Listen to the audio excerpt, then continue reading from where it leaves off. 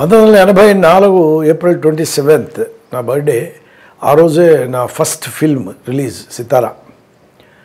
Sitara release అయిన next day director గారి ఇంటికి వెళ్ళాం విశ్వనాథ్ గారి ఇంటికి.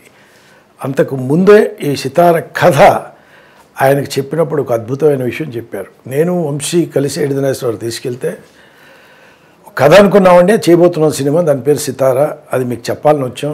ఇలాగ ఏడినేశ్వర తీసుకొచ్చారంటే విషయం చెప్తాను మీ ఇద్దరు గుర్తుపెట్టుకోండి. మనం ఒక అమ్మాయిని పెళ్ళి చేసుకోవాలనుకున్నాం మన పెద్దలకు నచ్చాలి మనకు నచ్చాలి. అయిపోయాక హ్యాపీగా పెళ్ళికి అందరినీ పిలుస్తాం. సినిమా చేయడం కూడా అలాంటిదే. కథ మీకు నచ్చింది మీ నిర్మాతకు నచ్చింది డైరెక్టర్కి నచ్చింది. మీరు సినిమా చేసేయండి గుట్టుగా పెళ్ళి చేసినట్టే. రిలీజ్ ఉంటుందే అప్పుడు అందరికి పిలవండి వాళ్ళందరినీ చూడండివ్వండి అంతేగాని మనం పెళ్ళి కూతురు సెలెక్ట్ చేయగానే ఇంటింటికి తీసుకెళ్ళి అమ్మాయి బాగుందండి నేను చేసుకోబోతున్నాను చెప్పం కదా. అలా మనం సినిమా చేయాలనుకున్న కథ మనం చేసేయడమే ధైర్యంగా చేయటమే. సినిమా చేయడానికి కావాల్సింది గట్స్ అన్నాడు మహానుభావుడు. ఇప్పుడు స్వాతి ముత్యం ముప్పై ఆరు సంవత్సరాలు దాటి ముప్పై ఏడో సంవత్సరం వస్తుంటే ఈ క్షణాన ఆ విషయం still it is young still it is alive. ఆ స్టేట్మెంట్ ఇప్పటికీ నూటికి నూరు శాతం నిజం. ఒక ఆవేశంలో ఒక ఉద్ధృతిలో ఒక మనోసంకల్పంలో పుట్టేది కథ. ఆయన మహానుభావుడు విశ్వనాథ్ గారు. ఎందుకంటే ఆ రోజు సిరిసినమువ్వ ఒక మూగమ్మాయి కొత్త పిల్ల జయప్రద ఒక మూగమ్మాయి ఇతనేమో డప్పు వాయించేవాడు చంద్రమోహన్. వాళ్ళిద్దరి మధ్య లవ్ స్టోరీ. మ్యూజిక్ అంటే జుమ్మంది నాదం సయ్యంది పాదం అని రెండు ముక్కలో ఆంధ్రప్రదేశ్ ప్రజలకి అప్పట్లో ఆంధ్రప్రదేశ్ తెలుగు రాష్ట్ర ప్రజలకి ఒక కొత్త రచయిత వేటూరు సుందరమూర్తి పుట్టాడు ఆ చిన్న థాట్లోంచి. అలాగే ఆ తర్వాత ఒక శంకరాభరణం ఆ తర్వాత స్వాతిముత్యం సాగర్ సంఘం ఇలా వరుస తను అనుకున్న కథలే ప్రపంచానికి అందించాలి అనే గట్స్ ఉన్న డైరెక్టరు విశ్వనాథ్ గారితో దాదాపు ముప్పై ఆరేళ్ళ ప్రయాణం అది. మొన్న మొన్నటి శుభప్రదం దాకా ఆల్మోస్ట్ ఆల్ ది ఫిలిమ్స్ ఆయన చేసినవి స్వాతిముత్యం. తర్వాత నేను కొద్ది గొప్ప డైరెక్ట్గా అసోసియేట్ అనేవి ఏడు సినిమాలు. ఇండైరెక్ట్గా చాలా సినిమాల్లో ఉన్నాం. కానీ ఆ మహానుభావుణ్ణి అర్థం చేసుకోవడం అనేది every day is a new man. అట్లా చూసాం మేము ఆయన్ని. ఆ భగీరథుడు అష్ట కష్టాలు పడి ఒక మానస సరోవరంలో కూర్చున్న మహాశివుడి నెత్తి మీద ఉన్న గంగ అక్కడ మా హిమాలయాల నుంచి ప్రవ ప్రవహించి వచ్చి వచ్చి కాశీలో మహాగంగగా మారి మనందరి పాపాలు ప్రక్షాళన చేస్తూ తిరిగి ఆ శివయ్య పద సన్నిధిని చేరినప్పుడు మహాశివుడు ఎలాంటి పరవశం చెందాడో గంగా ప్రవాహం ఉత్తరాది వరకే తేగలిగాడు ఆ భగీరథుడు. కానీ దక్షిణాదికి రసగంగం తెచ్చిన మహానుభావుడు అపర భగీరథుడు మా విశ్వనాథ్ గారు అని చెప్పడానికి గర్వంగా ఉంది గౌరవంగా ఉంది. నిజంగా రసగంగ అనే పేరు ఒక చిన్న ఆ చిన్న నోట్లోనే ఇప్పుడు హ్యాష్ ట్యాగ్ వేసినట్టుగా రసగంగ అని కొడితే మొత్తం విశ్వనాథ్ గారి సినిమాలే తెలుగులో ఉంటాయి. శంకరాభరణం వచ్చి యాభై ఏళ్ళు అంటే నైన్టీన్ ఎయిటీలో రిలీజ్ అయింది ఫిబ్రవరి సెకండ్. ఇప్పటివరకు అలాంటి సినిమా మళ్ళీ రాలా రాదు ఇక రాబోతుందనే నమ్మకం లేదు. అంటే he's a he's a genius achieved he's unique is extraordinary he's excellent. లేకపోతే ఏంటండి బొందు కట్టుకోవడం చేత కానీ కుర్రాడు హీరో అని కమల్ హాసన్ పెట్టడం అవతల సకల కళావల్లవన్ అని సూపర్ డూపర్ ఈ టోన్స్ సెవెంటీ ఫైవ్ డేస్ ఆయన సినిమా.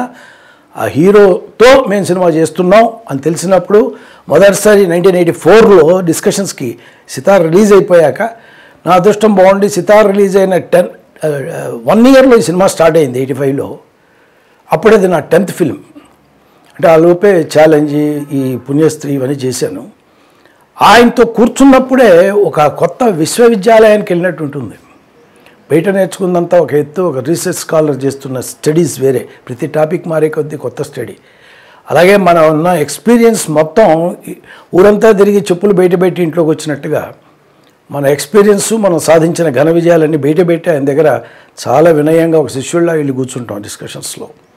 ఆయన ఎత్తుగడే డిఫరెంట్గా ఉంటుంది. ఆయన వెళ్ళే తీరే తీరే డిఫరెంట్గా ఉంటుంది.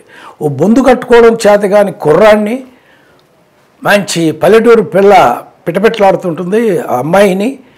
ఏరి కోరి తీసుకొస్తుంది బామ్మ అని మొదటి రోజు ఖర్చు చెప్తే నేను ఊరుకోవచ్చు కదా ఫస్ట్ టైం ఆయనతో కలవడం. మా ఏడిదినేశ్వరుడు ముందే చెప్పారు నోటికి వచ్చింది మాట్లాడగా కాసేపు కామ్గా ఆపుకో ఆవేశం పడకు అని.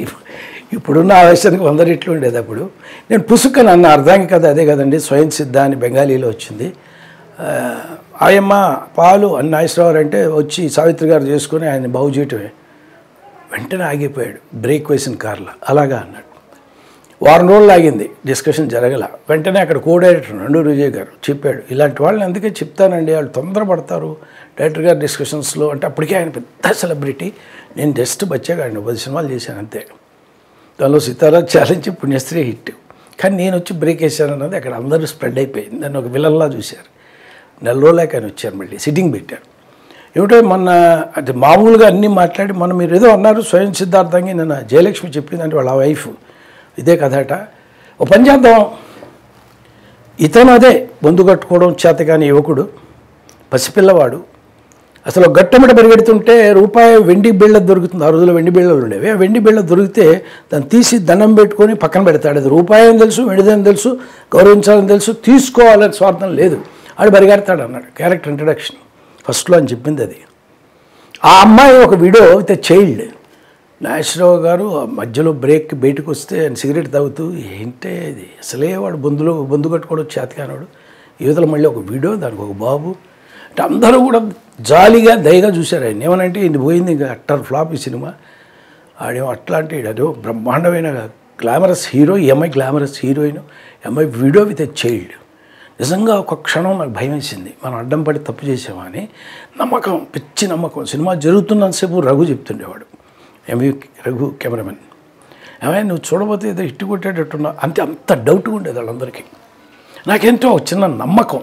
ఖచ్చితమైన నమ్మకం. ఆయన మీద ఆయన సిరిసిమ్మ చేశాడు శంకరాభరణం చేశాడు. ఒక ఎటర్నల్ ఫ్లేమ్కి ఒక డ్రై లీవ్స్ అందించేవాళ్ళం మనం. మనం చేసాం ఆ అగ్నిని అనుకోవడం చాలా మూర్ఖత్వం. ఆయనలో ఒక శివుడు ఉన్నాడు. నిజంగా ఎందుకంటే అండి every day early morning for the last I have seen him for the last fifty years almost every day నమ్మకం చమకం ఆ శివుడికి అభిషేకం చేసే పరమశివ తత్వం నమ్మిన మనిషి ఆయన. ఆయనకు ఆ శివుడు ఎప్పుడు పొరపాటు చేయడు. ఆ సీను మూడు సీన్లు నేను గుర్తు చేసుకొని చెప్తున్నాను ఇంకా చాలా ఉంటాయి ఇలాంటి డైరెక్ట్గా రాధిక గారు బయట ఇల్లు కల్లాబ్ జల్లి ముగ్గులేస్తుంది. ఆ వేస్తుందో చూసేది పూర్తయ్యాక వస్తుంది వైవిజయ బయటికి. ఏంటమ్మా మన పక్కింటి ఆయన పొద్దున్నే విరవమోహన్ చూశారని చెప్పి కింద పడ్డాట నువ్వు పొద్దున్నే ముగ్గులో పెట్టుకోబాకి వెళ్ళి అంటుదాం ఉంటుంది ఆమెకి ముగ్గు వేయాలి ఆమెను తిట్టాలి ఆమె వెళ్ళి అంటుదావాలి కడుపు అత ఆత్మాభిమానం ఉన్న ఆడపిల్ల అత్తగారింట్లో ఉండలేకపోయింది. ఇంటికి లోపలికి వెళ్ళి ఏడుస్తుంది అట్లా ఫీల్ అవుతుంటుంది ఆ పాలు ఉడుగుతుంటుంది అక్కడితో అయిపోయింది. ప్రతి డిస్కషన్లో అదే సీను అక్కడికక్కడ షార్ట్లో అప్పుడు అయిపోయింది షార్ట్ అంటే కాదు రఘు ఇట్రా రే నువ్వు ఇట్రా రా నా పిల్లవాడిని రమ్మని ఆ టబ్లో వాటర్ మొహం కడుక్కోమని ఆయన వచ్చి అమ్మ కొంగు ఇలా తీసి తుడుచుకోమన్నాడు. అప్పటికప్పుడు క్రియేట్ చేసాడు మాకు తెలుసు అది. షాక్ అయినాం. అలా తుడుచుకుంటుంటే ఇక్కడ బొ- అక్కడ అట్లా పాలు పొంగుతోంది ఆవిడ అలా ఏడుస్తూ ఉంది ఫీలే ఇంకే డైలాగులు ఉండవు అక్కడ. సడన్గా బాబుని చూసి చిన్న నవ్వు నవ్వి వీడి కోసం ఎన్ని భరించాలి కదా అన్నట్టు ఆయన దగ్గర తీసుకుంటుంది వీళ్ళేది ఆఫ్ చేస్తుంది. అంటే స్పాట్ ఇంప్రవైజేషన్. అలాగే మనందరం చూస్తాం చూసాం ఆ సినిమాని. వీరభద్రవాడు పిచ్చగొట్టుడు కొడతాడు కర్ర ఇస్తుంది కర్ర ఇచ్చిందే రాధిక చూసేసింది. ఇంకా మా వాడికి తిరుగులేదు తగ్గ భర్త భార్య వచ్చింది అనుకుంటే ఆ చిట్టి ట్రా అని చెప్పి ఆ బొట్టు తీసి పెట్టడంతో ఇలా తల వాల్చేస్తుంది ఆ అమ్మాయి. అక్కడికక్కడే నిర్మల్ చనిపోవాలి అది ఫ్రీజ్ ఇంటర్వెల్. మొదటి నుంచి అదే సీన్ ఇంకేం లేదు. అంటే ఒక అమ్మాయిని తను ఏదో మంచి చేయాలనుకుని ఆ సీతారామ కళ్యాణంలో ఆ తాళి కట్టేసి ఇంటికి తెచ్చేస్తాడు. ఆమె కూడా వచ్చేస్తుంది. ఏంటి ఎందుకు ఎలా వస్తారా అంటే లాజిక్ సమస్య లేదు అవసరంలా కానీ వచ్చాక బొట్టు పెట్టించాక అయిపోయింది సీను ఆ పెళ్ళి ఆవిడ యాక్సెప్ట్ చేసింది వీడు చేసుకున్నాడు. కానీ అక్కడితో ఆగల. ఆ కుర్రాన్ని పిలిచాడు మళ్ళీ. ఒరే నువ్వు ఆ గోడ గోకరా. వాడు నిజంగానే గోడ గోకుతూ ఊరికే అలా చూస్తున్నాడు? నువ్వు ఆ గోడ మళ్ళీ గోకు అని కమలి ట్రావయ్య అని మనం చూసే సీన్ ఇప్పుడు అది. మోకాల మీద ఉన్న పుండుని అతను గోక్కోమంటుంటాడు. వాడు వీడు గోక్కుంటుంటారు. సడన్గా ఎవరు ఎక్స్పెక్ట్ చేయండి ఏదైనా డైలాగ్ అంటే అంటే అప్పటికప్పుడు ఆకలేస్తుంది అని చిట్టి ఆకలేస్తుంది అన్నం పెట్టు అనేసి. అప్పటికప్పుడు అదేం రాసుకుంది కాదు ముందు ప్లాన్ చేసింది కాదు అప్పటికప్పుడు అంటే ఒక్కసారి అమ్మాయి షాక్ అయిపోయి తల పైకి అటు చూస్తుంది. అక్కడ అవతల బామ్మ చచ్చిపోయింది యువతల ఇలాంటి స్థితిలో చిట్టి ఆకలేస్తుంది అన్నం పెట్టేంటి అక్కడ అటేపు కమలాసనం ఇటు బాబు వాళ్ళిద్దరిని చూస్తుంది. ఇందాక ఆ రైల్ ప్రయాణంలో ఇద్దరిని చెరొక వైపు అటు బాబుని ఇటు భర్తను కూడా పెట్టుకొని వెళ్ళిపోతూ ఉంటుంది ఎక్కడికో. అక్కడ లాజిక్గా బొంగ వాడిదే ఇల్లు ఆ నూనె గానిగా వాడిదే. మొత్తం వదిలేశారు ఎక్కడికో వెళ్తున్నారు. అస్సలు ఆలోచించడు ఆయన లాజిక్. ఆయన అనుకున్న కథ అనుకున్నట్టుగా స్పష్టంగా చెప్పేస్తుంటాడు. ఆ ధైర్యం ఆ గట్స్ ఆయన చూసి నేర్చుకోవాలి.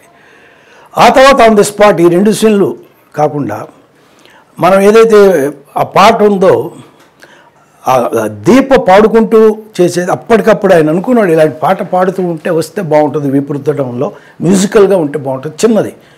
తను ప్యాడు పెన్ను తీసుకొని రాశాడు అక్కడికి అక్కడే.